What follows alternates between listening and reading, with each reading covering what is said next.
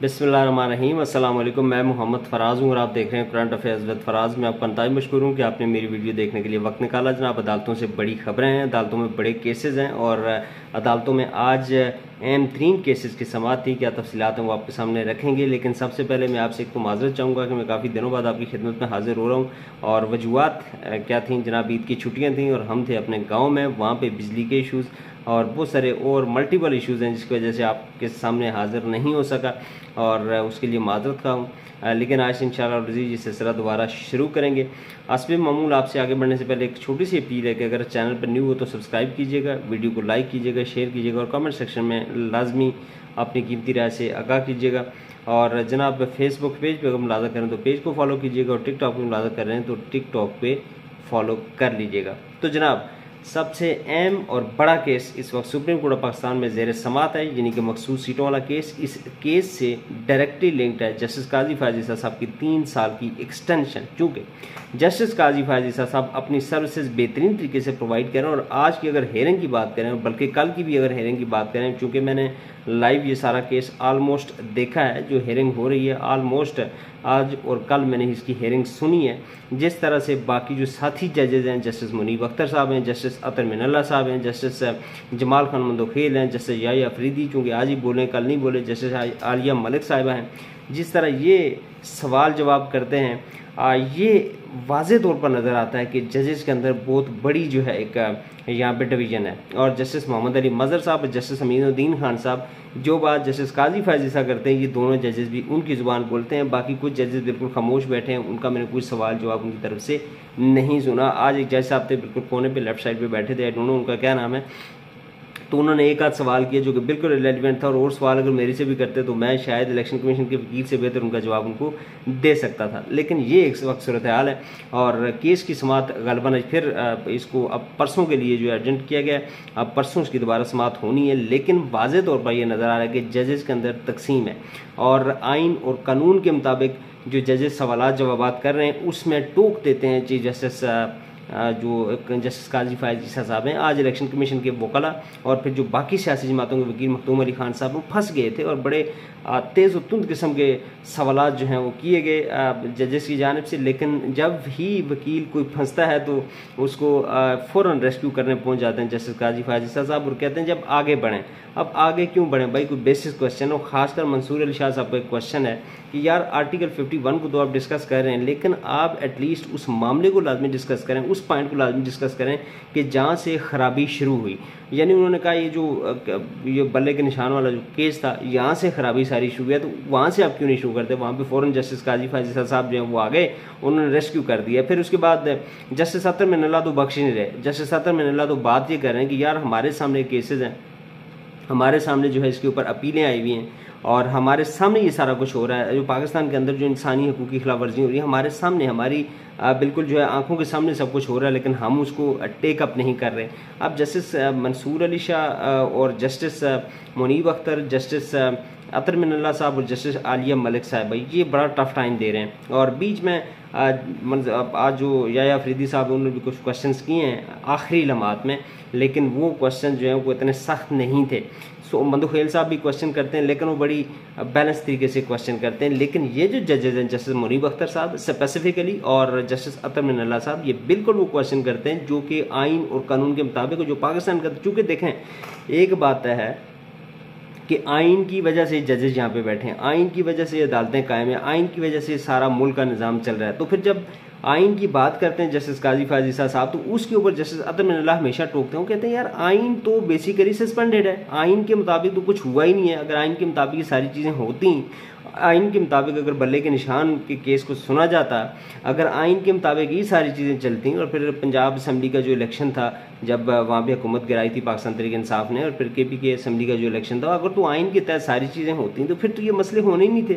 تو جب جسٹس قاضی فاضل صاحب آئین آئین کی بات کرتے ہیں تو پھر کچھ ججز جو کہ آئین کو صحیح طریقے سے سمجھتے بھی ہیں اور وہ پھر ان کو غصہ آتا ہے کہ یار یہ ہو کیا رہا ہے؟ آپ آئین آئین تو کر رہے ہیں لیکن آئین کو آپ نے صحیح طریقے سے امپلیمنٹ کیا اور سب سے زیادہ جو بریک کیا آئین کو، آئین کا جو ستیہ ناش کیا، وہ جسٹس قاضی فاضی صاحب نے کیا ہے۔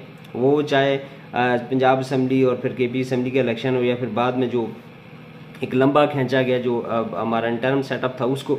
تو یہ ساری چیزیں جو ہیں جسٹس قاضی فائز صاحب کو چڑھاتی ہیں بیسیکلی اور تھوڑی دیر پہلے تقریباً آج سے ابھی سے آدھا گھنٹہ پہلے جب سماعت ہو رہی تھی چونکہ اس وقت ٹائم ہو چکا ہے جناب ساڑھے پانچ، تو تھوڑی دیر پہلے جب سماعت، آدھا پونا گھنٹہ پہلے جب سماعت ہو رہی تھی، تو اس میں جسٹس قاضی فائز صاحب باقاعدہ غصہ ہو گئے تھے۔ انہوں نے کہا، یار، بار بار آپ یہ، آپ میری ججمنٹ کی بات کرتے ہیں کہ میری ججمنٹ کی وجہ سے بات بگڑی ہے۔ تو آبویسلی یہ ان کو بھی پتہ ہے کہ ان کی ججمنٹ کے بعد معاملہ بگڑا ہے۔ اور میں آپ کو لیٹرلی ایک بات بتاؤں کہ جب یہ ججز کیس سن رہے تھے، جب سپریم کورٹ آف پاکستان وہ کیس سن رہی تھی، بلے کے نشان والا کیس تو اس ٹائم پہ ریمارکس سے ججز کے ریمارکس سے وکلا کی جو بحث تھی، اس سے یہ لگ رہا تھا کہ پاکستان تحریک انصاف کو بلے کا نشان دے دیا جائے گا۔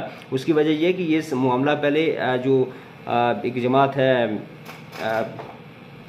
کے پی کے میں جو کیا نام ہے ان کا، ولی خان صاحب کی غالباً جماعت ہے جو ایمل ولی خان صاحب ہیں، ان کی جماعت کا نام میرے ذہن سے نکل گیا لالٹین جن کا انتخابی نشان ہے۔ تو ان کے ساتھ یہ ہو چکا ہے، جرمانہ کر کے ان کو الیکشن لڑنے کی اجازت دی گئی تھی۔ تو ہمیں یہ لگ رہا تھا کہ پاکستان تحریک صاحب کو الیکشن لڑنے کی اجازت دے دی جائے گی انہیں کہا جائے گا کہ بعد میں آپ الیکشن کروا لیں۔ لیکن جب اس کے بعد جب فیصلہ آیا اور فیصلے میں جب جسٹس قاضی فائزیسہ صاحب فیصلہ سنا رہے تھے، تو ان کے چہرے کے جو ایکسپریشنس تھے، اس سے یہ واضح طور پر لگ رہا تھا کہ یہ انڈر پریشر ہیں۔ اور جسٹس قاضی فائزیسہ صاحب ایز اے جج فیصلہ نہیں سنا رہے، بلکہ ان کے سامنے فیصلہ رکھا گیا ہے اور یہ فیصلہ پڑھ کر سنا رہے ہیں۔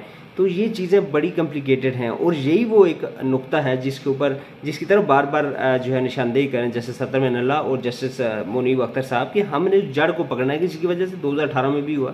پھر اس سے پہلے بھی آپ پاکستان کی تاریخ اٹھا کر پڑھ لیں۔ کہ یہ چیزیں ہر الیکشن کے اندر ہوتی ہیں۔ یہ سیاسی انجینئرنگ ہر الیکشن میں ہوتی ہے۔ آپ یہ جو آپ کا الیکشن کمیشن ہے، سیاسی انجینئرنگ کے لیے اعلیٰ کار بنتا ہے، تو یہ چیزیں، یہ بیسک کوشچنز ہیں جن کو ایڈریس کرنے کی ضرورت ہے اور اسی کے اوپر ججز کے درمیان اختلافات ہیں۔ اب لیٹس ہی ہوتا کیا ہے۔ میں آپ کو لیٹرلی بتاؤں کہ اگر ہم آئین اور قانون کی بات کریں تو پھر تو یہ کیس بالکل اوپن اینڈ شٹ کیس ہے اور یہ سیٹس نہیں ملنی چاہیے، باقی جماعتوں کو پی ٹی آئی کو سیٹیں ملیں گی۔ اور اگر تو یہ آئین و قانون کے مطابق، لیکن آئین و قانون کے مطابق چونکہ چیزیں کام یہاں پہ نہیں کر رہا سسٹم جو ہے وہ آئین و قانون کو نہیں مان رہا، تو آئی ڈونٹ تھنک مجھے بہت زیادہ امید نہیں ہے کہ اس کا کوئی پاکستان تحریک انصاف کو فائدہ ہوگا۔ دوسری جانب، پاکستان تحریک انصاف نے ایک جگہ پہ لیگنگ ہے۔ اب ہمارے جو وکلا کی ٹیم ہے نو وہ کیا کر رہے ہیں؟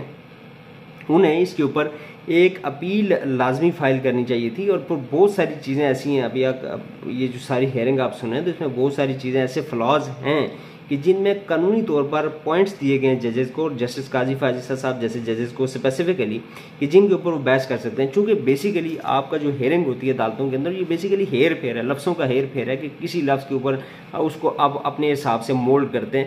اور یہ چیزیں ججز اس وقت کر رہے ہیں جو ججز پاکستان ترکن صاحب کو لائک نہیں کرتے یا خیر جو مطلب اس سمت میں کھڑے ہیں جس طرف الیکشن کمیشن کو لے کے جانا چاہ رہے ہیں۔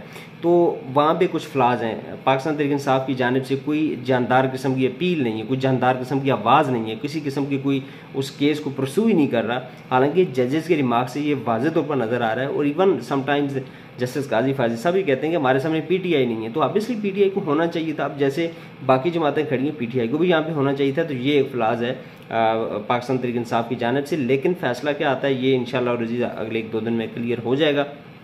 مجھے ویسے پرسنلی میں اگر آپ کو اپنی بات بتاؤں تو مجھے کوئی بہت زیادہ امید اس سے نہیں ہے۔ اب لیٹس ہی ہوتا کیا یہ تو انشاءاللہ اور رضی جب فیصلہ آئے گا تبھی پتہ چلے گا۔ دوسری جانب جناب، آج جو کیس تھا عدت میں نکاح والا جو کیس تھا ڈسٹرکٹ سیشن کورٹس نے اسلام آباد میں عمران خان اور بشرا بی بی کی عدت میں نکاح کیس میں سزا متعلق درخواست پر فیصلہ محفوظ کر لیا اور ستائیس جون کو یہ سنایا جائے گا۔ اس میں uh, سلمان صفتر صاحب نے uh, جو ہے وہ دلائل دیے ہیں۔ پاکستان تحریک انصاف یعنی عمران خان صاحب اور بشرا بی بی کی جانب سے اور جسٹ جسٹس افضل مجوکا صاحب جو ہیں، انہوں نے اس کیس کی سماعت کی ہے اور بڑی تفصیل سے سماعت کی ہے۔ اور سماعت کے بعد وکیل نے کہا کہ جو انٹرویو چلایا گیا، اس کے قائد کور موقع پیش کیا گیا خاور منیکا کے بیٹے نے اس انٹرویو میں کہا کہ بانی پیٹیا نے کہا کہ ان کا بشرا بی بی سے نہیں ہوا، یہ جھوٹا الزام ہے۔ دوران سماعت جس افضل مجوکا نے خاور منیکا کے وکیل سے کہا کہ اپیل کا نندگان کہتے ہیں کہ چلا کروایا گیا، اس کے بعد شکایت دائر ہوئی اور اس پر بتائیں، بدنیتی کا تعلق اللہ تو واقعات سے ہوتا ہے۔ کیا گرفتاری کے بعد ایسے حالات نہیں تھے؟ اس پر وکیل نے جواب دیا کہ جی نہیں، ایسے حالات نہیں تھے۔ تحقیقاتی ادارے کی جانب تفتیش کے لیے گرفتار کیا گیا تھا۔ یہ مطلب سوال یہ ہو رہا تھا کہ جب خاور منیکا کو پانچ سال کے بعد گرفتار کیا گیا، اس کے بعد یہ ساری صورتحال پیدا ہوئی کیس تب بنا، اس سے پہلے یہ کیس نہیں بنا، اور یہ آن ریکارڈ چیز ہے کہ خاور منیکا نے ایک ٹی وی انٹرویو میں کہا تھا کہ بشرا بی بی جو ہیں وہ بڑی پاک دامن ہیں، اور مجھے ان سے کوئی اختلاف نہیں ہے۔ تو اس طرح کی چیزیں، اور آج اس سارے معاملے کے اوپر جب بحث ہوئی، تو یہ کیس کا فیصلہ، یہ جو سزا معطلی کا فیصلہ ہے، یہ ستائیس جن کو اب سنایا جائے گا۔